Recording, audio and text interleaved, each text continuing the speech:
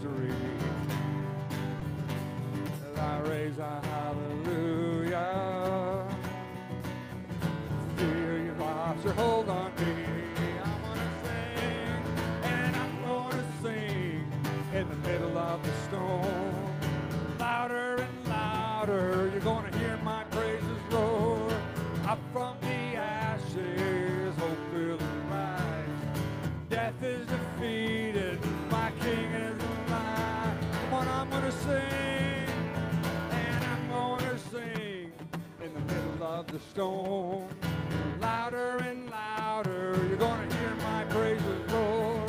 Up from the ashes, hope will arise.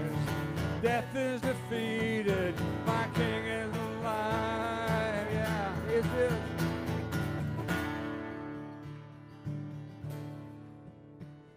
Ready? Go like this. We're going to sing a little louder, or we're going to start out kind of low. Going to sing a little louder little louder. Gonna sing a little louder. Sing a little louder. Come on, Trent. Gonna sing a little louder.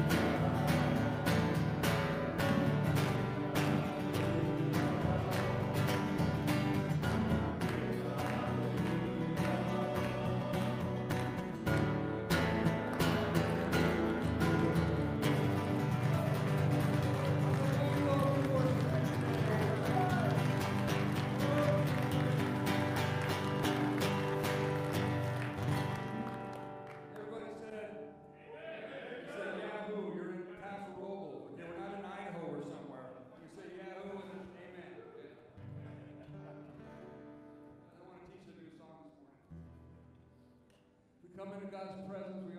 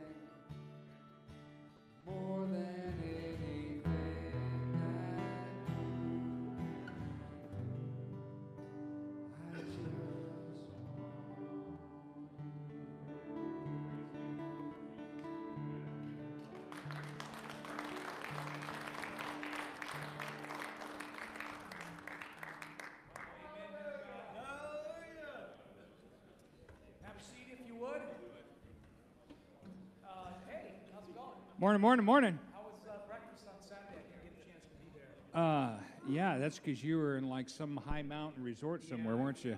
Vacation Well, Tehachapi's nice this time of year. It is beautiful this time of year. It's not, yeah. It's really a blast. Uh, breakfast was awesome. It was, you know, it always happens on Pioneer Day. So, so that kept some of the, uh, the barricades. They changed the barricades on us. So, so some guys had to navigate, but that's. We had a great time. Uh, we fellowship. We passed the mic around. We heard Trent sing. We did. We did, and it was outstanding. yeah. yeah. Yes. Yes, and it was fantastic. Someday he will make it plain. Yeah. So, hey, good morning, you guys. It's beautiful to be here. The, the seasons are continually changing, and it's just nice and crisp out. Speaking of crisp, we have a we have a visitor today. Did you know that? I saw that. I don't, I, somebody get him Should should we introduce him to the? I mean, do the? Okay. Um, you guys may have heard of this man. Uh, he's here today. He is. He came for one day. Well, he's here for the weekend, but he came to to just say hi, didn't you? Come here for a minute, Gus. Let, hey, welcome Gus Bess, would you? uh, you're, It's good to see you. you're a gift. Welcome home, my friend. And I, I think I can speak on behalf of everybody that you are a sight for eyes. That, I mean, we just love you so much, brother. Yeah. And it's good to see you. Uh, we understand that you packed a little light for the weather in Idaho for this time of year. Yeah. and you've been getting snow up there already. Yes. Yes, they do. They got dusting. 21 degrees and windy. Yes, there he is. Welcome, welcome. Yeah, Doug is the pastor for his place. Yeah. Yeah. Yeah. 25 years. Praise Fantastic. God. Praise God. Fantastic. Hey, we got something exciting coming up, and I was thinking about. Yeah, you have your mic on? Yeah. It's been gone so long, he's not sure how to operate that thing. Is it on now? Yeah. Okay. I heard you just fine. I don't know what the Yeah, problem is. yeah. Yeah. Cool. Uh, here's what Paul says in Thessalonians. I was just thinking about this and reflecting on it. Rejoice always, Mm-hmm. right? Yep. Pray without ceasing. Yep. Amen. Give thanks in all circumstances. Wait a minute. Wait a minute. Yeah, all All, circumstances. all doesn't that mean like Even When you pull them over on the side of the road, they should be smiling. all means all? In other words. yeah. For this is the will of God Yes. for you. Amen. Hallelujah. And you know what's so powerful is in the very next very next verse he says this, don't quench the spirit of God. So when we're not praying, when we're not giving thanks, when yep. we're not rejoicing, we are stifling up, we're damming up if you will, we're blocking the flow of the spirit of God. Yes, we And are. this weekend, we're going to be up at Man's Camp. There's still openings there for those guys who want to come. Yeah, guys, I'd encourage you to come. I mean, you will miss the moment. God is coming. Amen. There's going to be a special, I really believe, a special anointing of the Holy Spirit. Yeah, Yeah. amen. No doubt. So we're No looking doubt. forward to everybody being there. Do you Yeah, got some so- instructions for yeah, us? Yeah, I do have a couple of things. Um, I'm told that um, the count is at 60, Okay, uh, so meaning that there's still time. right, amen. Now, if, uh, if you need a ride, um, if that is an issue, whatnot, meet at uh, North County Fellowship at 1100 hours, Yeah. okay? If you are riding on two wheels instead of riding in four wheels, Okay, in other words, if you're on a motorcycle, um, motorcycles, motorcycles, are leaving North County Fellowship at 0830, okay? So uh, make sure you get there a little early, maybe by 8:15 or so. right, You can gather up, and then together, um, obeying all traffic laws and everything, you're going to travel. you're going to travel to. Uh, that's not in Thessalonians anywhere about obeying all traffic laws. I don't think so. Yes, you're going to travel together, and uh, go-kart racing is at 1,100 hours uh, in in uh, Clovis, Right. 1,200 Shaw Avenue. Right. So, uh, does anybody need a ride? Is anybody still currently looking for a ride? Everybody's happy? Okay, good. Well, if you're not happy, we take you behind the woodshed. All right. So, okay, good. All right, Um, but it's gonna, yeah, it's going to be a grand time. it? Good. Yeah. All right, let's pray and get this thing going, shall we? That. All right. Father in heaven, thank you for the beauty of this day. Thank you for our dear friend being here, Yes. Father. A blessing. Thank you for bringing him and Doug here safely, Lord. We just ask that uh, today and this weekend, the Spirit of God Amen. flood our souls as if never before. May we be overwhelmed by your grace and by your love and by your mercy. We ask this in the name of the one who has loved us before the foundation of time. In Christ Jesus' name, amen. Amen. Amen. Well, guys, it's uh, good to be back. You got some stuff on your tables. You know what we're going to do. We're going to read the eternal breath and enjoy every moment, and then uh, we'll get back in just a few.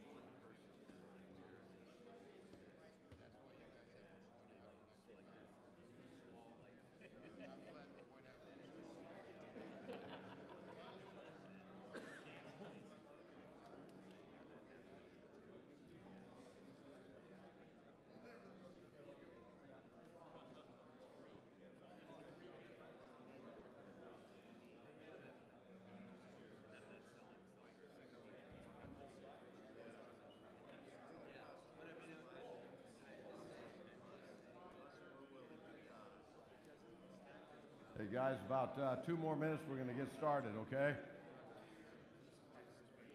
In fact, if you'd like to get a cup of coffee or what, a donut, go ahead and do that right now. And Then we'll get started.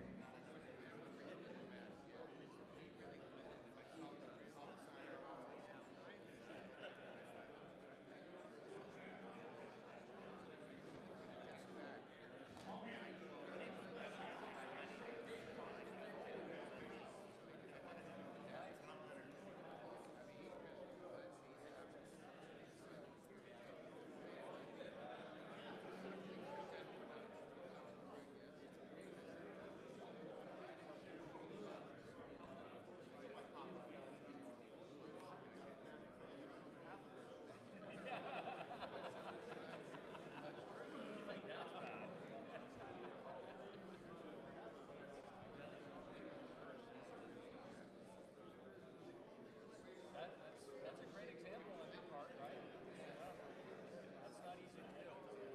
Our natural nature is to defend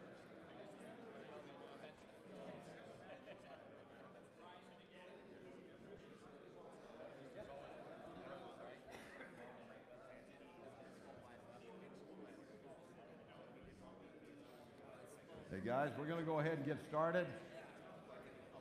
Normally I'd say you got another minute, but all right.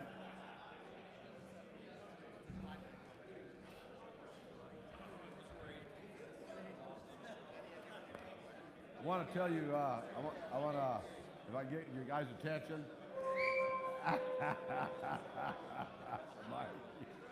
You are such a gift. All right. Wow. Uh, I've been gone quite a bit of, of, of time, and uh, along the journey, when you when you go somewhere and you're re, you know you are you're just who you are. We're men of God, and that's what we are.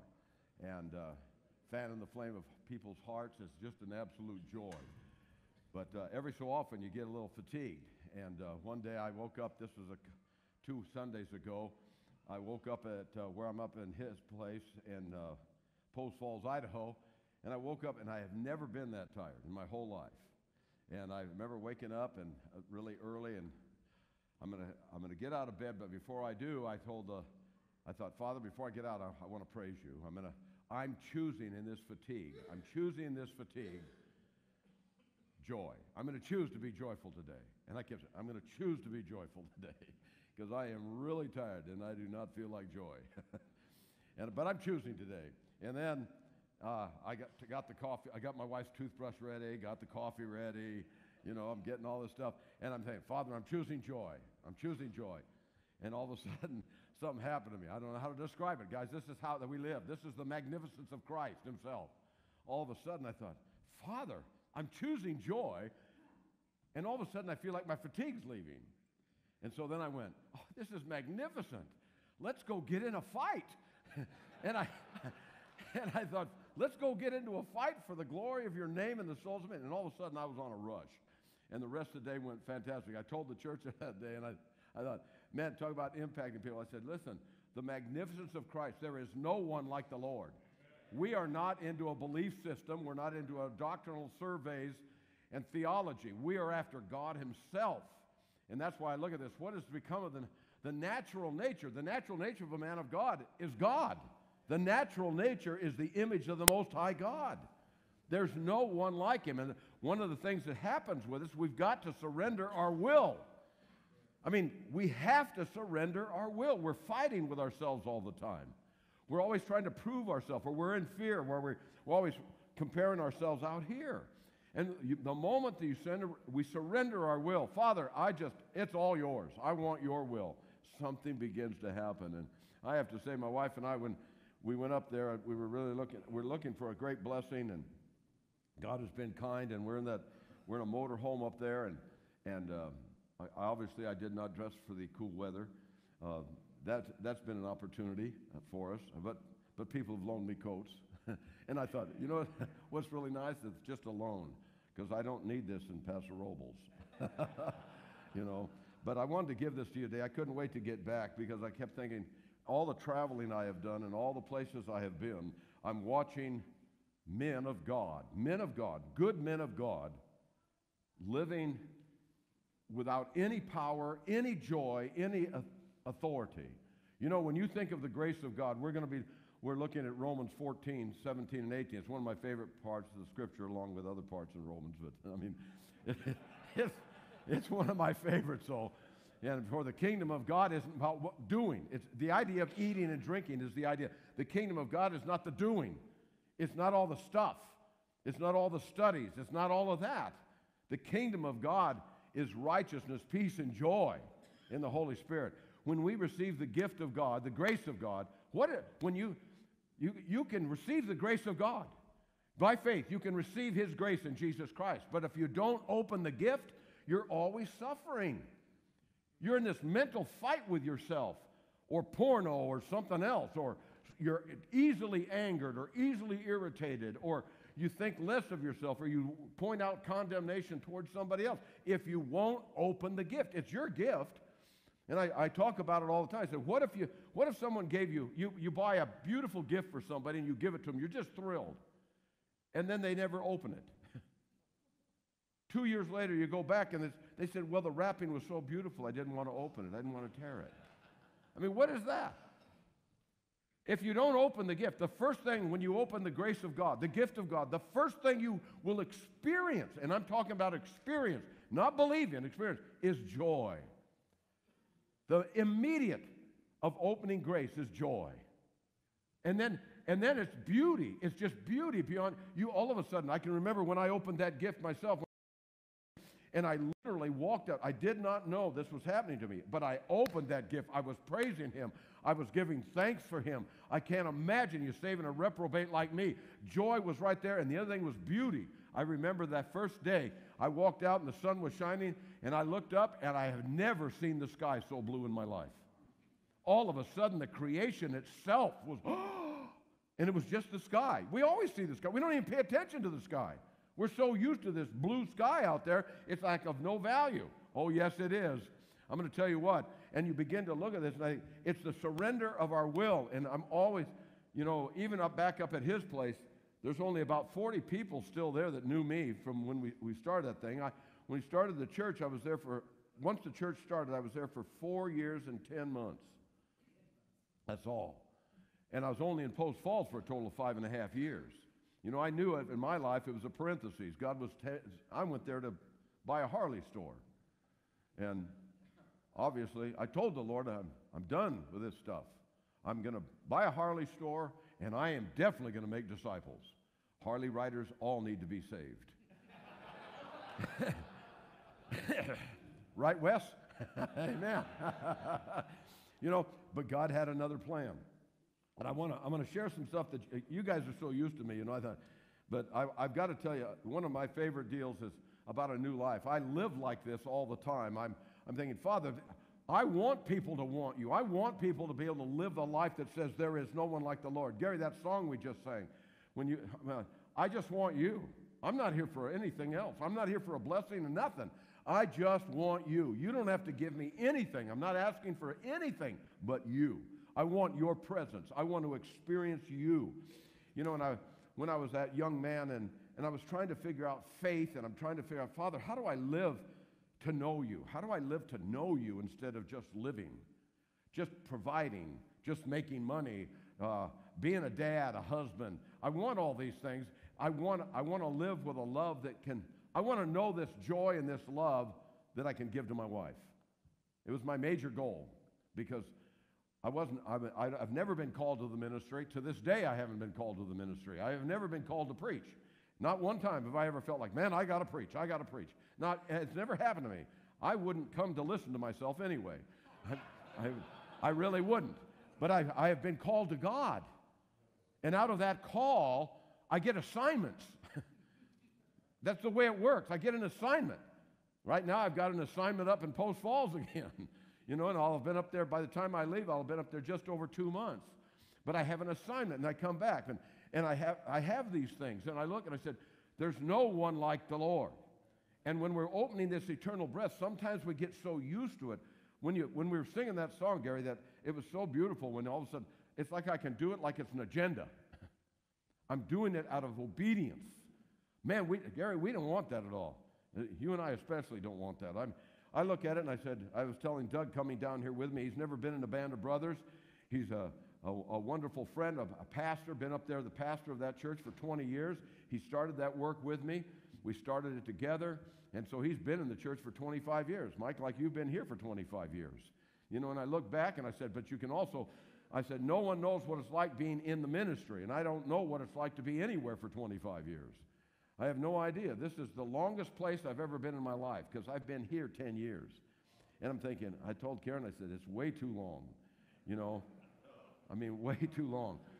But, but I look back and I'm thinking, I want to give you something. I want to I want to share a story with you because I don't know how to do it. People ask me this Have you received the second blessing? I, no, I don't think so. If, is there another one coming? Yeah. Yeah, I, I don't know what to say about that one. Have, have you been anointed of the Lord? Has the Holy Spirit anointed you and given you gifts? Absolutely. Now, Gary wants me to get one more gift. I know that, you know. And it may happen at camp this time, Gary. I mean, amen, you know. But I look at it and I said, because everything God gives you is for purpose. It's for your joy. It's absolute your joy. But I want, it's a story I've read to you before, but I want to give it to you again today. It's, it was out of George Mueller Bristol, and I and uh, A.T. Pierson wrote a book on George Mueller. There's been a lot written about him, but A.T. Pierson's the best book I ever read about George Mueller of Bristol. A tremendous man of faith. He believed God in every situation. He was after nothing but God. And while he was after nothing but God, God gave him everything. He went after orphans, and when he had when he went to do a ministry, he just had an ache in his soul for people that had nothing. Well, he had nothing. no, that's what it looked like. He had everything. He had the presence of God on his being all the time. You read the stories about him, you walked into his presence, you walked into the presence of God. When that man prayed for you, the earth shook. You know the story about when, when he was on his way in, in old age, he was on his way over to Canada to speak. And of course, they had the steamship, they had no radar, nothing. They got fogged in. And, I, and the captain came to tell him, Mr. Mueller, we're not going to be able to get you there in time so, so that you're able to speak. He said, What? So they went up to the room, the chart room or something. He was saying, Where, where, do you think we are? And he said, About here. He said, We can't get you there. We can't get there. There's fog. We can't get there. He said, Well, the fog has no problem. What does that got to do with us getting there? So he said, Well, let's pray. And he said, What are you talking about? You, you can pray all you want, but the fog's still there.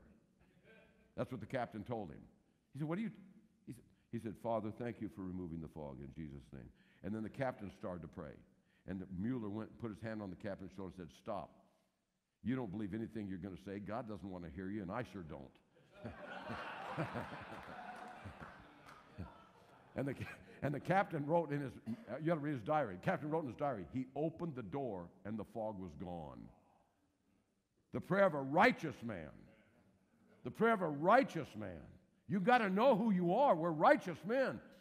The kingdom of God is righteousness, peace, and joy. There's a fire in your soul waiting to burst forth all over the world in the magnificence of brokenness, like Randall praying for your family, the heartache your guys are in, and your beautiful wife. And I looked at this and I'm thinking, uh, what's happened to you? What was it, your, your niece? Your granddaughter? Oh, Yola Bowley. That is, I'm so sorry. I'm going to tell you this, guys. Listen, to, this is Mueller himself, though. This is how he, this was his life experience. He goes, in an address to ministers and workers after his 90th birthday, George Mueller spoke thus of himself I was converted in November of 1825, but I only came into the full surrender of my heart in July of 1829. Now, listen to that. I was converted, and many of us have been converted. And we're trying to do all these things, and we're working and working and working, and it seems like this straining, exhausting. We're always finding ourselves tired. I'm going to tell you, in Jesus Christ, you don't have to be tired.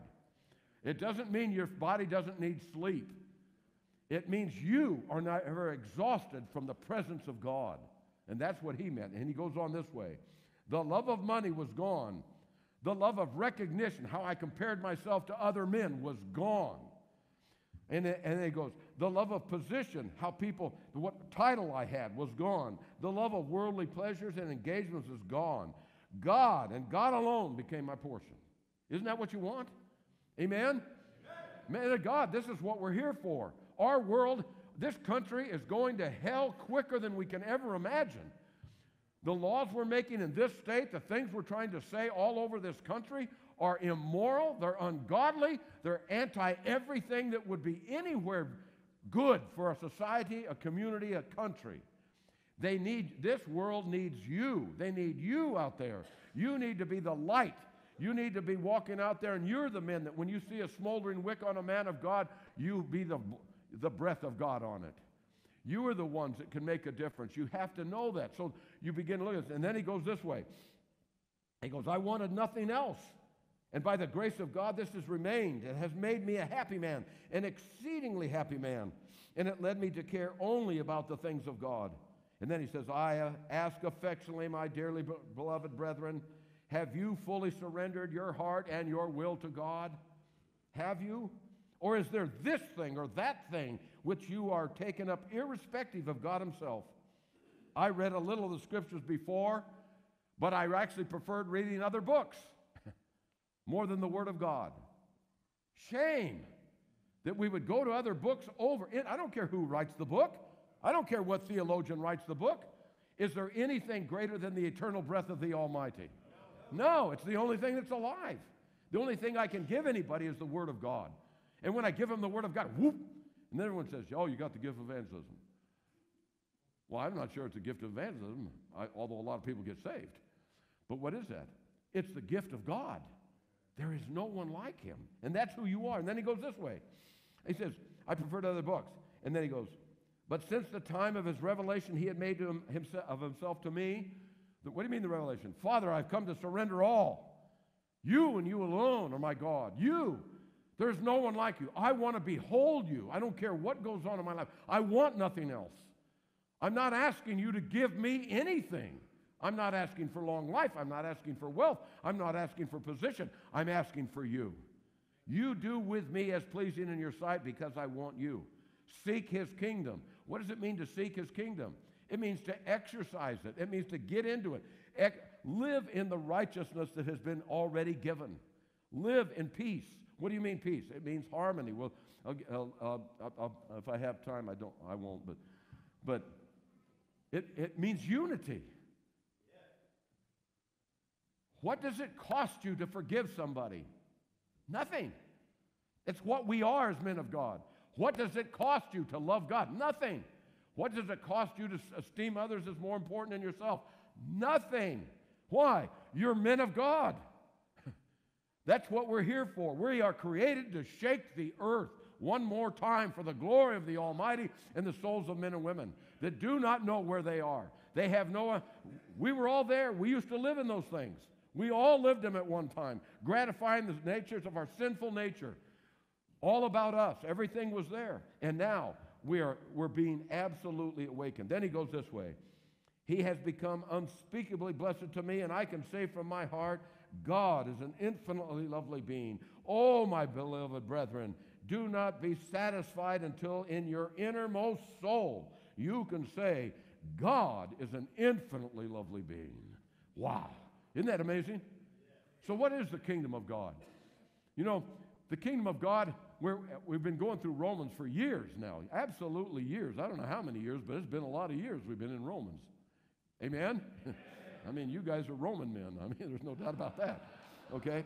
But I look at this and I'm thinking, Father, you, all you, uh, Christ on the earth, I must go to other cities. This is the reason I was sent to preach the kingdom of God to preach the kingdom of God. Everything you look in the book of Acts, preach the kingdom of God. Seek the kingdom of God. The kingdom of God is not eating and drinking, but righteousness and peace and joy in the Holy Spirit. For he who serves Christ in this way is pleasing to God. How are we serving? We're living in the magnificence of a new nature. We have been made into the image of God. He became sin so that we would become the righteousness of God. Christ God made him that way. And we begin to look at this and I'm thinking, oh, Father, the kingdom of God is what we're made for. I was made for righteousness. I was made for peace. I was made for joy. And we're, and we're not opening up to it. I, I open up and get, enjoy the journey. Praise God. Choose His will. Exercise the, you, You've got to be pushed. Something has to push on you so you can discover who you are. If you don't get pushed, you will never know who you are. There's a, there's a sinful nature that gets disappointed, irritated, angry, lustful, swears, does all these other things. And I said, then there's the righteousness. In the, I have been rebirthed into the image of the Almighty. I have been made blameless now and forever. Therefore, I can actually repent with great joy. See, in the kingdom of God, there are no dead things. That's what's so beautiful about it. There's, what do you mean, dead things? When the Lord tells you and I that He says, Do you not know that the wicked will not inherit the earth? Do you not know that? Well, yep, I think so. But then He goes and tells us what it is. Don't participate there.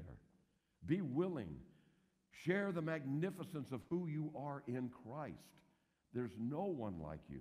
And so you, you go, and when, when righteousness, peace, and joy are who you are, when you're living in this, this kingdom, when these things are present, the love of God reigns without any obstacles. All of a sudden, you forget to be offended. All of a sudden, you can go up to any man, any woman that's ever hurt you, and you can be the blessing to them.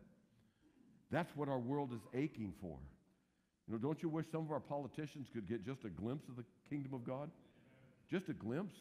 The foulness coming out of our society? It's ju- that's what causes me to groan.